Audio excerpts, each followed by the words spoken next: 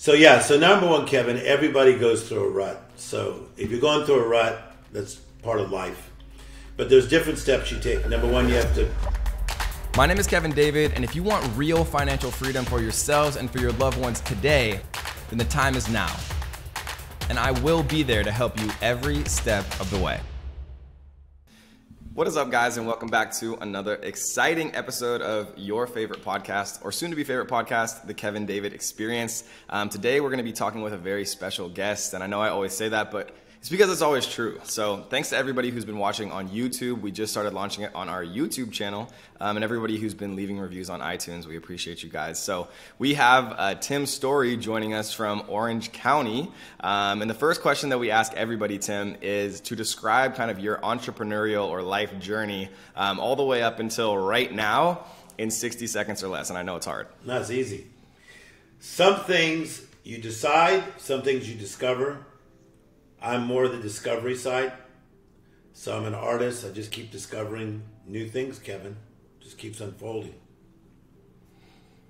I love it. That's that's a short. That's probably the shortest and sweetest answer we've ever gotten. uh, I appreciate that, and I like that Maya Angelou uh, poster in the background. For people who are watching on iTunes, make sure to come check it out on uh, on YouTube and vice versa. So, Tim, one one question that I had that I think people would be interested in is like where does motivation come from? Like does it, it, do some people intrinsically and kind of naturally have more of it? Is that something that you can like learn or or is it something that you're you're just born with or not? Okay i think some people are born with more of it uh, personality types no doubt about it.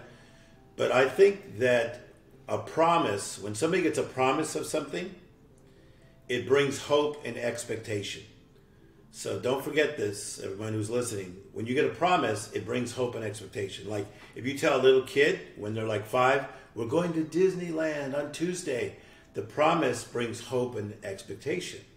So that hope and expectation equals motivation. So when you have the promise of like great things to come, you get motivated. Yeah, yeah, and I actually really agree with that. Like, I, I even like do that. I've never heard anyone articulate it like that, but it's so true. Because like, I, I love um, music. Like, I and what I'll do is I'll give myself kind of like a music festival or something to look forward to, and it'll give me more motivation. Like up until that point, um, you know, to be able to like work harder and just know that you know you kind of have that um, you know pot of gold at the end of the rainbow, so to speak. Um, and so another question that, and I, I, ask and sometimes poll some of my audience and um, ask them, you know, what questions they want me to ask, uh, you know, special guests such as yourself.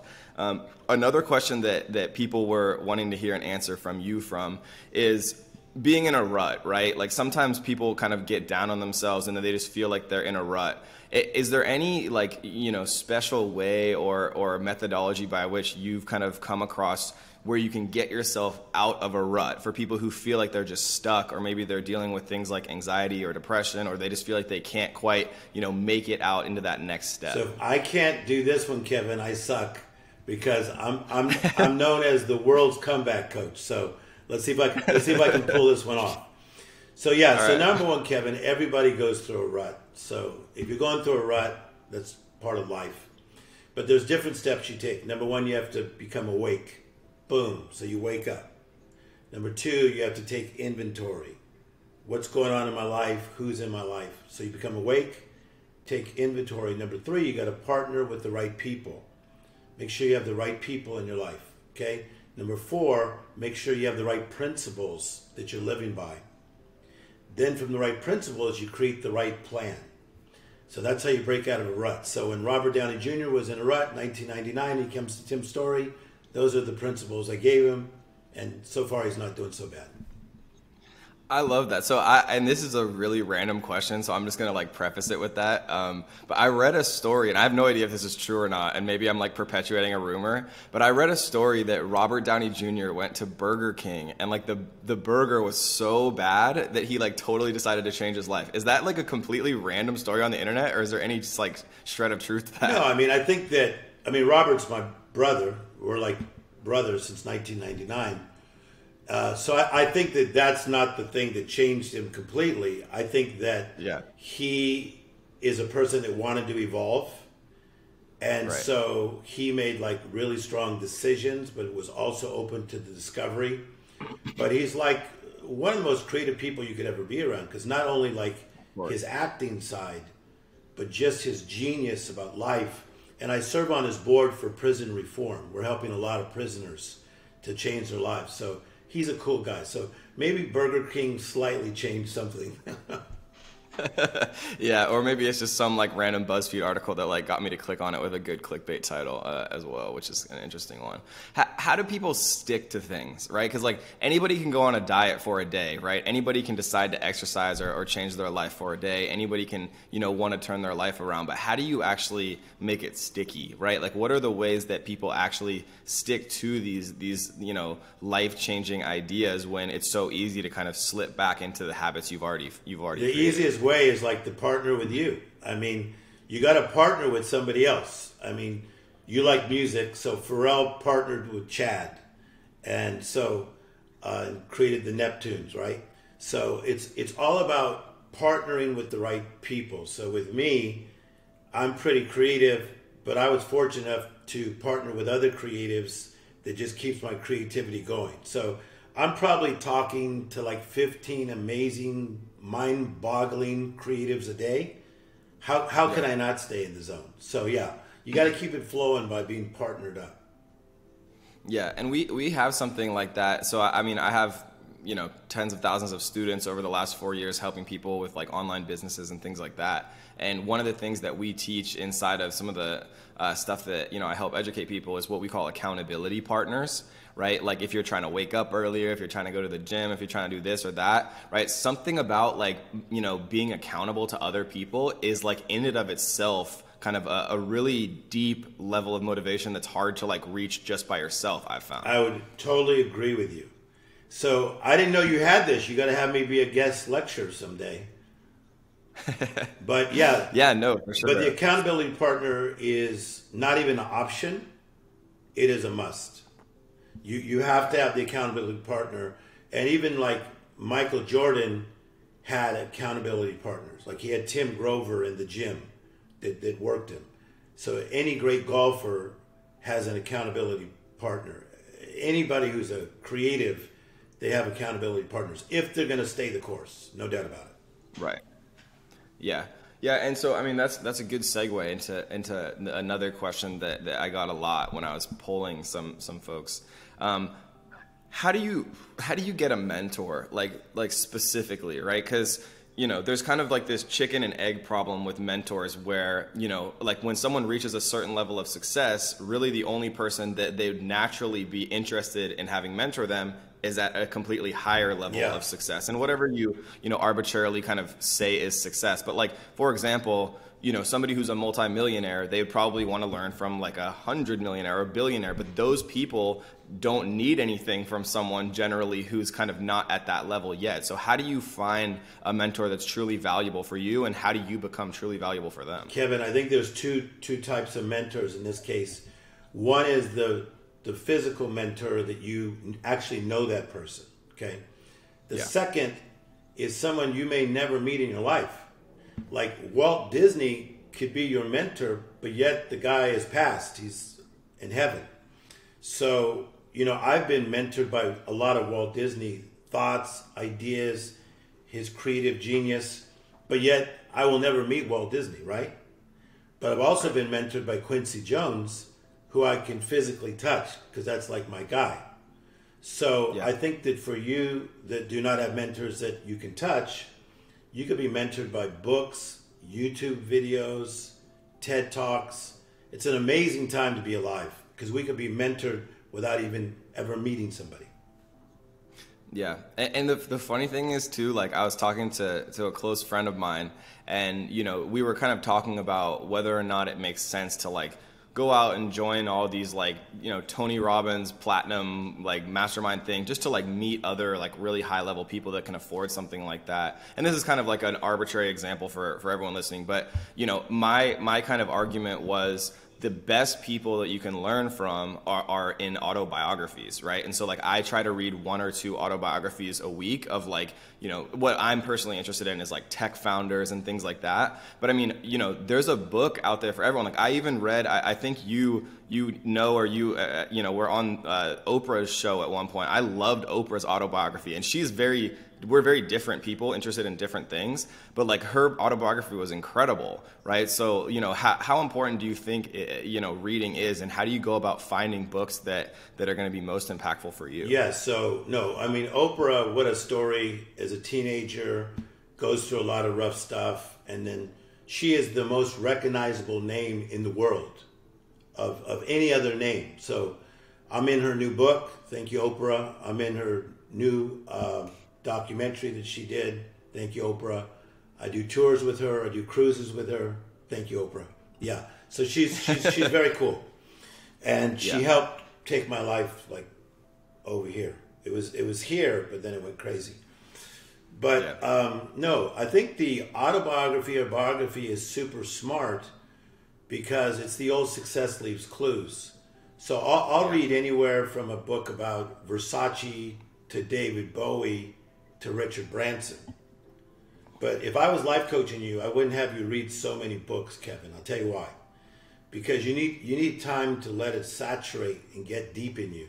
I'd rather have you just yeah. sit in a book for like a month to where that person is just like so alive in you. Like I read this book about the life of Michelangelo and I allowed myself a month to just take in what this guy was about. Does that make sense? It does 100%. because you could just learn one little fact. But I credit you for being able to to read that many books. but anyway, we can learn a lot from books. The interesting thing, right? Because like, and I totally 100% agree with what you're saying. Like, being able to like really soak it in and like really find like a more profound meaning and really put yourself in their shoes and try to visualize. Like, I, I remember reading a quote that like you know, uh, non-readers live one life and, and readers live a thousand or something like that. I forget the exact quote. And it's so interesting to kind of like, you know, I just read the, the IBM uh, founder's book, right? Thomas Watson Jr., his son. Um, and, and, it was incredible because the book literally went progressed through like 60 years of his life in the in the book, right? And that's like a really unique thing, being able to like get watch insight of someone's learnings through 60 years uh, of their actual book. Um, and this is another random question, but I'm just curious, right? Because I was reading about Rich Paul, which is like LeBron James' uh, uh, agent, yes. and he met LeBron randomly at the airport in Ohio. Right, so that's so serendipitous. Like, how did you actually meet Oprah? Like, how did you start meeting these like you know people like Oprah? Was it serendipitous? Did they reach out to you? Like, how, how do those things happen for people? I think the best way to do it is become really good at something. So it's like Malcolm Gladwell 10,000 hours and become a master. So I'm not good at a lot of things. Like I cook mediocre. My Spanish is mediocre, even though I'm half Spanish. But I am a master at working with people. I became a master. And I think that I cannot be beat as a comeback coach. So yeah. what happened is I started cooking that up in my kitchen and then I started helping a few celebrities, and then it got more celebrities, and then more, and then the biggest celebrities in the world, their managers or agent or the celebrity would look for me. So we've never looked for one person. I just cook it up in the kitchen, and they find the restaurant. So that's the best way right. to do it. Just become good at something, and people will find you. Yeah, and that's kind of like the the axiom like don't pursue attract, right? Where you know, because I was just talking to someone the other day about networking, right?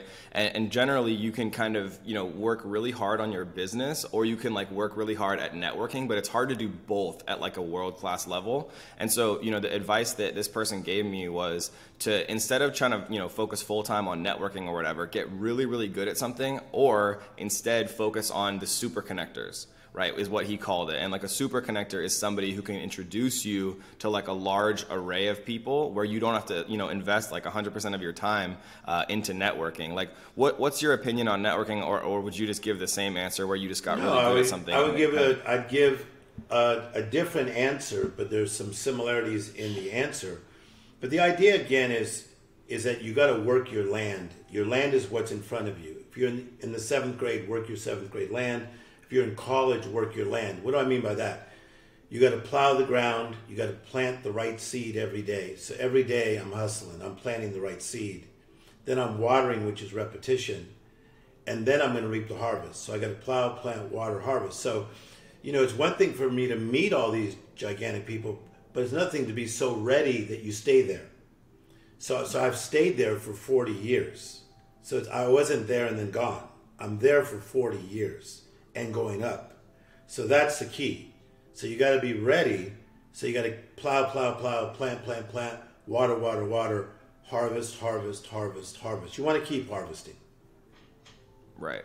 Yeah, and that's that's an interesting point. Like where luck meets, or like when skill meets preparation is luck. I forget the exact quote, but it reminds me of kind of what you're saying, yes. right? You have to be prepared to take advantage of a situation, which is like, you know, Charlie Munger and Warren Buffett have a, a, quote that always kind of reminds me of that, which is the best type of investors are spear fishermen, right? Where, you know, you're ready at like on the edge of the river when there's like a financial crisis or whatever, and just to go all in right? And so like unless you have, you know, some valuable skill to offer people that you've been planting and, and you know, kind of building those skills for, for a number of years, it's difficult to actually, you know, be able to capitalize on a, a hap- like a, you know, sort of happenstance situation that that comes your way. No, I like your thinking. So and I like that illustration of the spear fisherman to, to, to be ready. But another thing I think, Kevin, it's important to realize that life is not a sprint, it's a marathon. And I feel like a lot of people get very, very tired, like halfway in, because they have not like really uh, created this idea that there is longevity. So the the best of the best that I get to be around, they're long distance runners. I mean, an Earvin Magic Johnson, that's a long distance runner. I mean, he was a great basketball player, but you should watch him as a businessman. So these are long distance runners, like a Steph Curry. Yeah already is doing entertainment. He's doing businesses. He's now in the restaurant business with my buddy Michael Mina.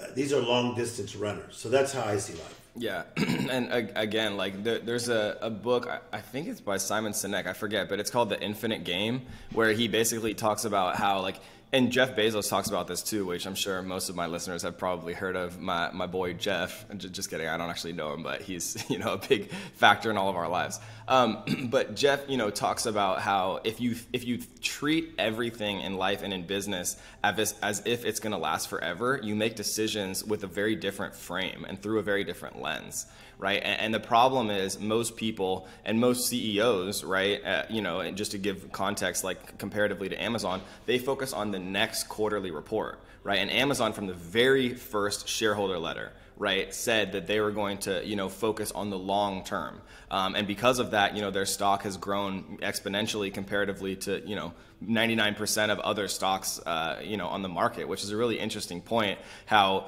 you know, when you want to take advice from someone, the most successful, richest, you know, financial person in the world is probably somebody who who has some idea of what they're talking about. Yeah. So just like you're saying, the the the long game is a smart game, but being very consistent and you know wanting to stay in the league for a long time. So none of you guys want to like become famous or celebrity, but it, then you end up on the "Where Are They Now" edition of People magazine. So no, it's like a boom, boom, boom, a step by step approach. Yeah, and so when you when like because you know obviously being the the number one comeback uh, leader in, in the world, something that I'm curious about, right? And this is not necessarily like a comeback, but like I've just seen this happen with a lot of like my more kind of like wealthier friends is sometimes people will be like grinding so hard and like so fast with their head down that they like wake up almost, you know, years later and they realize that like what they were pursuing wasn't what they actually wanted. Like, do you have like a framework or, or like a way by which you help people figure it out, like what life they really want? Because I think a problem that a lot of people have is they like see other people's success and they pursue that without actually really thinking through whether or not that particular thing makes them personally happy and fulfilled. Yes, so great great question. So everybody is different. But you have you have the same idea of what life is about. Okay, so here's what it is. You have the promise of something. So this is what I'd like, this is what I desire, whatever that is. And then you have to have the right principles so anytime you need principles, you, you hear me always talk about principles. That's the, the way in which one lives. Okay, so you have the promise, you have the principles, but then there's going to be the problems. And and Kevin, that's where a lot of people mess up. They don't know how to get through problems. And so in the problem stage, they get entangled, they stop, they get stuck.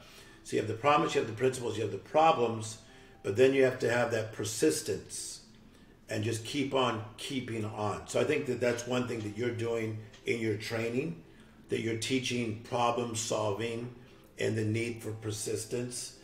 But the beautiful thing about life is you never know what is just around the corner.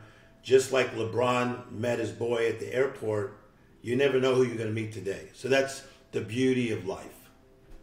Yeah. And another thing with that, right, is again, you have to be willing to to capitalize on it, right? Because if Rich Paul, and this is a random example, but like if Rich Paul didn't say what up to LeBron at that point, then you know 12 years later he wouldn't have LeBron as his client and 25 other you know big uh, athletes who who probably came because of LeBron's you know name recognition and wanting to be in the same you know so it's just it's just like this really interesting idea how life is like this series of kind of unpredictable events but you have to be ready to actually capitalize on it because if you're going to wait throughout life, other people are going to take advantage of those situations that you're choosing not to. Yeah, like for instance, when I first met Kanye West was 15 years ago. I was on an airplane going to Miami to go to uh, do something, and he was going to Art Basel. He was going to meet Pharrell Williams, and I saw a big bodyguard come through, and I thought it was Britney Spears' bodyguard, and then I realized it wasn't. And Kanye was coming behind this guy with a backpack, and I looked around where the seats, and I noticed there's only one seat left. So Kanye West, 15 years ago puts some stuff up here, sits down. Five and a half hours later, LA to Miami, we just go at it. And we've been going at it ever since. So people always say, like, how did you get in his life so close like I've been all these years? It wasn't like looking for it. I was sitting in a seat and he sat next to me. Yeah. Yeah. Yeah, and it's so it's so interesting how that happens too. And you know what I've what I've realized, and you know I've, I have not met anywhere near as many you know celebrities as you have and made friends with them or anything, but I've you know I've met some, and what I've realized is they're just normal people too, like everyone. Everyone has problems everyone has emotions everyone you know needs help with things everybody um, is just a human and sometimes you know people kind of go through situations or, or something like that but from from my experience at least um, you know, most celebrities or whatever you want to call them are actually just kind of normal people like everyone else. Yeah, so they're they're we're all normal people. Their their problems are more amplified because they're they're more known. So let's say if one of your viewers uh, breaks up with their girlfriend, they may just break up with their girlfriend and their circle knows. But with a celebrity, it's going to be on TMZ that night. So that's the thing is the amplification and that right. brings extra pressure on somebody. But there's no doubt about it. We're just all normal, amazing people. I love it. So the first of all, this has been an amazing podcast. I can tell everyone's going to love this. The last question that, that I ask everybody, um, and I think this is an interesting one, right? So if you had a, a time machine, but you only had enough time to go back and say one thing to 18 year old Tim about life, about happiness, about fulfillment, um, whatever would be most meaningful to you, what would you say to him? I would say to the 18 year old version of myself is um, continue to be patient because it's going to work out the way you saw it. So I'll never forget Oprah said to me in her backyard, just me and her talking, At what point did you know you're going to be Tim Storey? And I said, At age 10. And so I knew I knew something was different about me and I was very patient to get here. And so I'd say to my 18 year old version, you know, be patient because it's going to work out. So I would say to you, as a younger guy than me, be patient because it's all working out. I love it. And if people want to learn more about you or reach out to you if you if you like doing that, or they want to you know get your book or or um, what what's the best way to to kind of find out more? Yeah, so I have a best selling book right now called uh, The Miracle Mentality with Harper Collins. So get that. You can get it through Jeff Bezos. Um, that's through Amazon. and I and I do the recording of it as well. So you hear my voice reading to you for five and a half hours. The miracle mentality on how to not minimize your life, how to think bigger. So I think that'd be the best thing to do at this point. Awesome. Well, thanks so much for coming on, Tim. I really appreciate you, brother.